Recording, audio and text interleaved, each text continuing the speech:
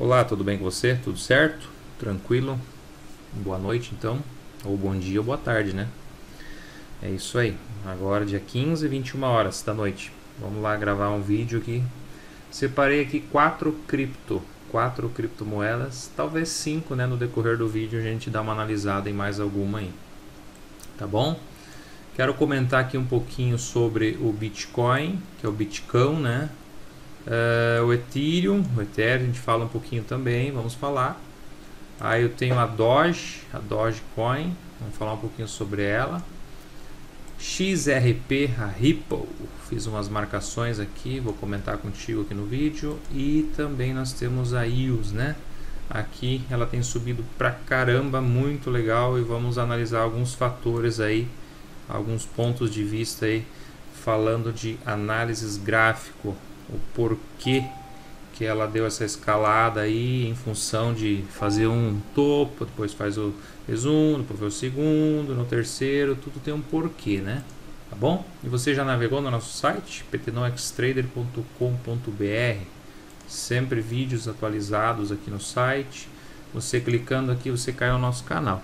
Você ainda não é inscrito no nosso canal? Se inscreve aí do lado direito em inscrever-se. Participe ajude a levar esse conteúdo para mais amigos, mais pessoas.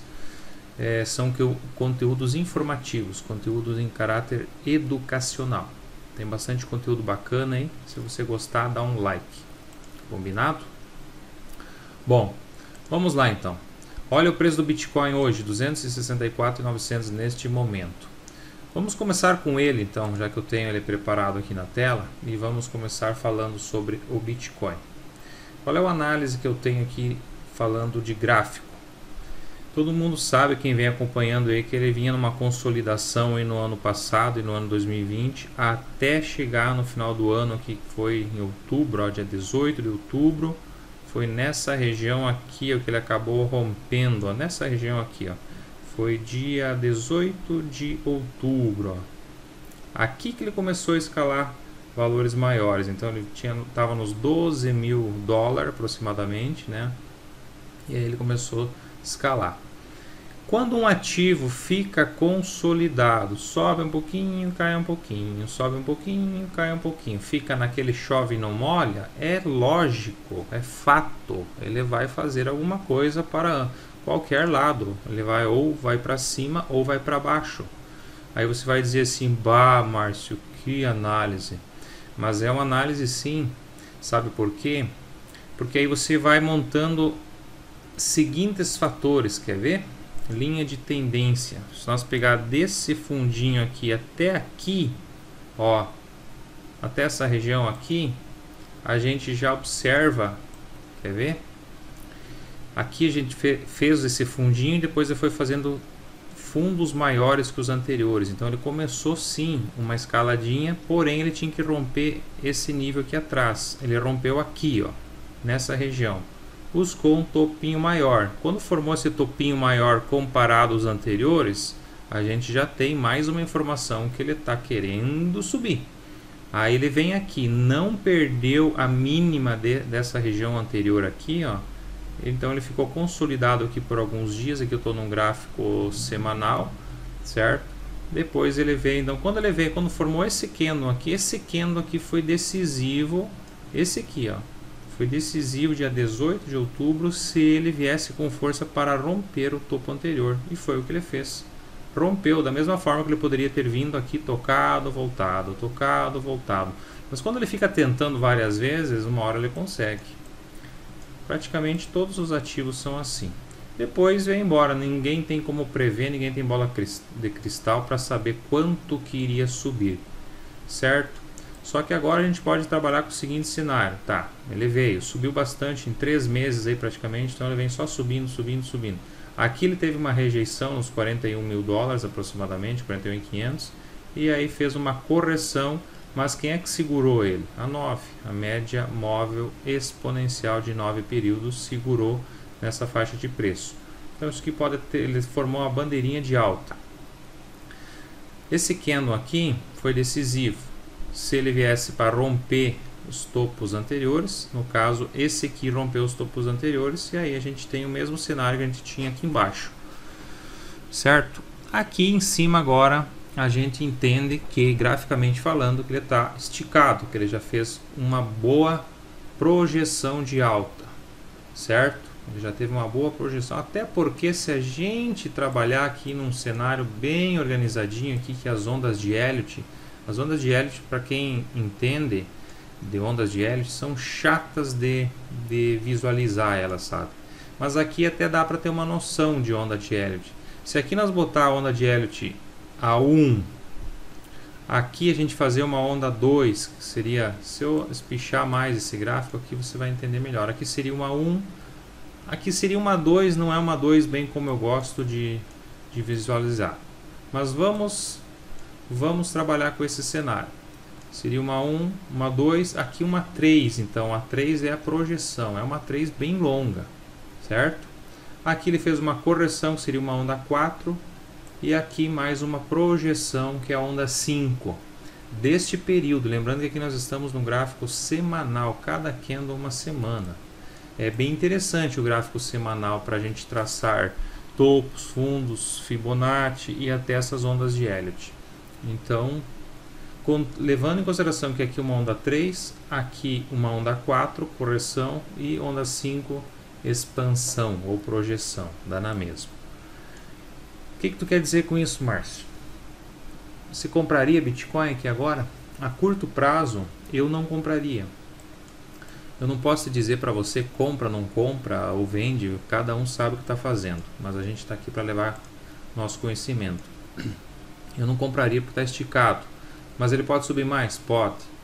Mas quanto mais ele, ele ele veio subindo, subindo, subindo, subindo, a gente querer comprar aqui é o chamado compra topo, né? Então, quanto mais ele subiu e, eu não, e você não foi junto com ele, para que se arriscar tanto então? Por quê? Porque a curto prazo ele pode fazer uma correção bem tranquila, sair de, de 49 mil dólares e vir para 39 mil dólares, que é uma correção saudável. Todo esse candle aqui ó, de projeção, ele pode devolver e estagnar nessa região aqui, ó, que seria saudável para ele. E às vezes ele pode vir romper e buscar de novo aqui os 31 mil dólares, que é essa região aqui que seria a onda 4, certo? Das ondas de Elliott. Então eu não compraria aqui em cima. Mas que não sirva isso aqui de dica para você comprar ou vender, cada um sabe o que faz. A gente ensina bem nos cursos alguns detalhes interessantes. Aqui está 9, aqui está 21, aqui está 51. Então Tome cuidado a curto prazo no Bitcoin. Quem está comprado nessa região aqui, fique atento. Pode subir mais, mas quanto menos espera, pode devolver e aí você ficar às vezes semanas ou meses em um negativo. Tudo pode, até porque aqui embaixo você já consegue ver um volumezinho aqui caindo um pouco também. Beleza? Foi a minha sugestão do Bitcoin. Vamos ver a Doge, Dogecoin. Gráfico diário. A Doge está legal para a gente ver um diário. Muito bem, vamos lá. Nós temos que marcar topos. Vou marcar aqui um topo da Doge. Aqui em cima. Por mais que é pavio, mas a gente tem que levar em consideração esse preço ali. Vamos marcar também essa região aqui, que teve uma, uma briguinha aqui, ó, até romper. E aqui assim agora está vindo uma queda bem, bem visível, né? Certo? Então, esse ativo ele também estava consolidado aqui embaixo. Esse candle verde, força compradora, volume comprador, até porque teve algumas notícias aí para quem está acompanhando, aqui fez um rompimento então dessa região de preço aqui atrás. Ó.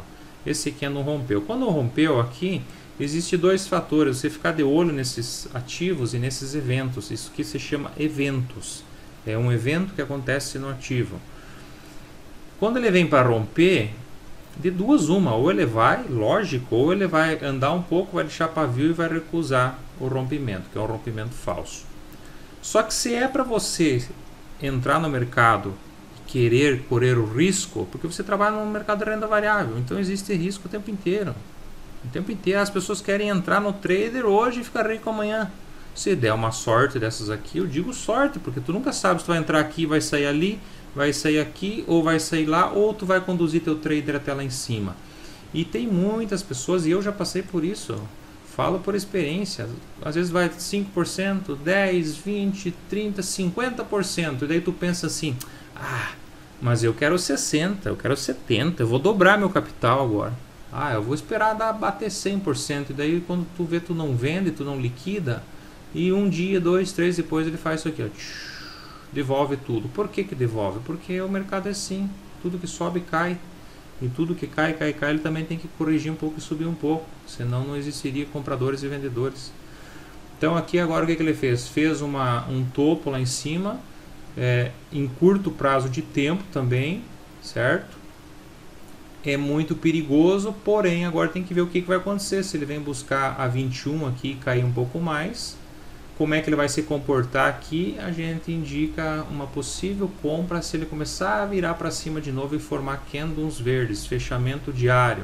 Espera fechar um candle no próximo dia, espera um dia, dois, três. Se tu vê que ele começa a virar de novo para cima, né? aí é uma entrada interessante. Então, nesse momento aqui, a curto prazo aqui eu não vejo compra. Pode ser a longo prazo. Longo prazo é outro cenário. Olha aqui um gráfico semanal, ó, totalmente esticado, longe da média. A curto prazo eu não vejo compra. Vamos ver num gráfico de 4 horas o que, que a gente consegue ver aqui. Ó, 4 horas, pior ainda, né? Ó, caindo, Todas as médias praticamente já quase viradas para baixo, a 9 e a 21. Essa aqui é uma média que eu uso também nos cursos eu ensino, muito interessante. Então agora nós temos um, uma correçãozinha de queda. Aonde que é a próxima parada? Essa região aqui, ó, bem onde está a minha marcação aqui, ó. Essa região aqui. Aqui ele, ele pode vir até aqui, aqui ele, ou ele sossega aqui ou ele cai mais, um dos dois. A possibilidade. Então eu iria esperar, agora não é momento de comprar, certo? Então fica a dica aí. A curto prazo, tá? Fica bem claro. A longo prazo é outra situação. Aqui a gente está fazendo análise para curto prazo, swing trade. Swing trade. Ripple, a Ripple, a Ripple por mais que dá esses pavio aqui, ó, o preço bateu lá em cima, que é o chamado pump. Existe o pump e o dump. Para quem não sabe, pump é quando vai para riba e dump é quando vai para baixo. Isso, quando vai para baixo, né? Então o dump e o pump. É, subiu muito rápido. Meu, a probabilidade de cair rápido também é grande. Você sabia disso? É fato. Sobe rápido, pode cair rápido. Sobe rápido, pode cair rápido. Porque o mesmo cara, os mesmos que fazem subir rápido, que são as baleias, são os investidores, são os grandes players, eles mesmos liquidam e detonam com a galera e com os lambarizedos, né? Tomar muito cuidado, muito atento aos eventos. Aqui é um exemplo, ó. vamos lá então a XRP. Esses dias deu um susto na galera, agora consolidou um pouquinho essa região, aqui rompeu esse candle aqui, começou a entrar volume de novo. Foi considerado esse candle aqui um rompimento quando rompeu essa região de preço aqui. Até vou pegar isso aqui e arrastar aqui. Ó. Aqui assim, essa região aqui, aproximadamente dos 2,5, 2,10 aqui. Esse candle rompeu, foi, aí deu o pump, voltou continua numa micro tendência de alta. Sim. Se tu pegar esse cenário aqui, ó, ainda a 21 está conduzindo ele. O ativo, certo? O preço, né? 3,9 neste momento. Só que veja bem, ó, num tempo gráfico diário que eu estou aqui agora, ele tocou já, já fez um pavio, tocou a 9. Se ele romper a 9, ele pode cair abaixo dos, do, dos 3 reais, que é o preço dela da Ripple. Pode cair abaixo dos 3. Caindo abaixo dos 3, aí ele está aberto para buscar essa outra média móvel aqui e vir buscar preços menores que é nessa região aqui. Aí se ele romper os 3, daqui a pouco ele para vir a, a 2,50 é bem ligeiro. Então tem que ficar atento agora, é um momento delicado também, eu não compraria agora pensando a curto prazo, teria que esperar mais um pouco. Mas não vou me aprofundar muito aqui, porque a gente tem muito conteúdo que a gente ensina nos cursos, e aí eu, eu estaria sendo injusto aqui com quem faz curso com a nossa equipe, tá bom? Mas fica uma dica aí, a Ripple, tá bom? Ficar de olho. Uh, Bitcoin, aliás, a EOS, olha só, interessante a EOS, né? Uns falam EOS, outros falam EOS. Bom, vamos lá. Por que, que eu marquei aqui o fundo, né? Fundo aqui atrás, fundo aqui, nos 12,81. Aqui atrás um topo, nos 20 reais, 20,70. Veja bem, ó, é, alunos que já fizeram curso, eu explico isso aqui. Ó. O ativo ele vem toca uma vez, aí ele vai, cai, corrige, toca duas vezes, aí corrige, cai, toca três vezes. Na terceira vez, a probabilidade dele romper o preço anterior é grande. Na terceira vez, a probabilidade é grande. Não é que vai romper. Mas na quarta vez, meu filho, a probabilidade é muito mais grande. Isso é fato. Num tempo gráfico diário ou semanal, é bom observar esses eventos. Então, ele toca, veio uma vez, tocou duas vezes. A terceira, praticamente muitos ativos já rompem na terceira. Esse aqui fez a quarta onda e a quarta ele rompeu. Como ele rompeu agora, nós temos preços lá atrás. Esse aqui é um pavio. O que, que acontece agora? Agora a gente não tem informação concreta de quanto, a não ser esse topo agora que ele acabou, acabou de fazer de 32 reais. Dias atrás estava 15. Aqui ó, estava 15 e eu indiquei para um aluno, em 15 e pouco ele comprou. É fato. Eles, Márcio, o que, que tu me indicarias? Olha, a Ilse está se criando para subir a escada. Aí. E ela não subiu de escada, ela subiu de elevador. É, a gente fala que o mercado sobe de escada e desce de elevador, né? Porque ele demora para subir e quando cai, cai de elevador. Mas aqui é um caso ao contrário. Ela subiu de elevador, pode ser que agora ela vem descendo de escada, né? Então, também a 9 está aqui embaixo. A, a, perdão, a 21 está aqui, a 9 já rompeu. É uma correção saudável. Se nós traçar Fibonacci daqui até aqui, então ele teria um alvo ainda para vir buscar essa região aqui, cair aqui até os 20 reais e ver como é que se comporta agora dos 25 aqui até os 20, tem que ver como é que se comporta nos, nos próximos dias. Se ele sossegar por aqui a moeda, o preço, né? E começar a virar para cima um pouquinho de novo, a gente é um bom setup de compra, tá? Então, lembrando que dias atrás estava 15 reais e bateu 32, então deu 100% de lucro aqui em menos de um mês. Interessante, né? Menos de um mês. A gente dá umas dicas aí bem, bem legal aí. A gente inclusive está montando um grupo aí VIP para quem quiser dicas de criptomoeda. A gente vai vai trabalhar. Se alguém quiser, tiver interesse, é só entrar em contato conosco, os contatos estão tá na descrição do vídeo. Então falei um pouquinho de EOS ou ELS, um pouquinho de Ripple, qualquer coisa volta o vídeo, a Doge um pouquinho, qual é o cenário agora, uma micro tendência de queda, o Bitcoin também a gente falou, vamos baixar o Bitcoin para um gráfico diário para ver o que, que a gente tem aqui. A gente tem ainda assim a macro tendência de alta, corrigiu, continua subindo, só que aqui ele pode sossegar agora e fazer uma correção bem saudável e cair um pouco. E lógico, pode continuar subindo, mas eu acho que a curto prazo, pelo meu conhecimento nele, a curto prazo eu não, não vejo subida aqui. Posso me enganar, tá bom? Uh, qual mais? 18 minutos de vídeo. Ethereum, vamos colocar o Ethereum aqui para vocês. Vamos colocar o Ethereum aqui então. Deixa eu pegar aqui o Ethereum, só um pouquinho. Vamos ver o que, que nós vamos ver do Ethereum aqui. Ó. Aqui está ele, ó o Ethereum. Vamos colocar aqui num tempo gráfico diário. Vamos ver o que está acontecendo. Vamos lançar uma média móvel aqui no tempo gráfico diário. Média. Vou lançar uma 9 e uma 21 aqui, só para nós termos um parâmetro aí. Vou lançar uma 9 e uma 21 está aqui as duas. Está aqui as duas médias móveis, estão juntinhas, médias, estão casadinhas duas lá. Essa aqui é 21, vou botar ela de outra cor, vou botar ela amarela. Pronto. É, vem conduzindo uma, numa alta agressiva, com certeza. Também rompeu aqui atrás e foi o Ethereum, está na casa de 10 mil reais. Vamos ver o que, que vai acontecer nos próximos dias. Vamos botar um tempo gráfico semanal agora totalmente esticado, só quendo um comprador, força, força, força, força, força. E olha só, ainda o, esse candle atual semanal ainda está verdinho até o momento. Está longe da média 21, mas está grudado com a 9.